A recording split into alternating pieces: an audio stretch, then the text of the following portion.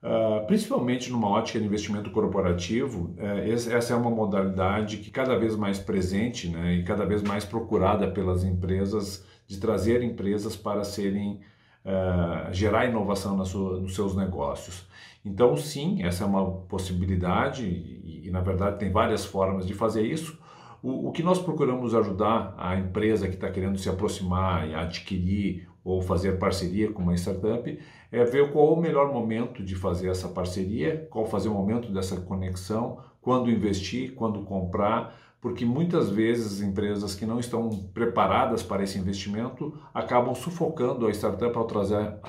esse empreendedor para dentro e, e não conseguir mudar a cultura da empresa, ou seja, a grande empresa acaba sufocando a startup nascente pelo fato de não conseguir entender essa mudança de cultura que está acontecendo. Nesse sentido, a aceleradora pode ser um bom mecanismo para ajudar as empresas que estão querendo investir e se aproximar desses novos negócios.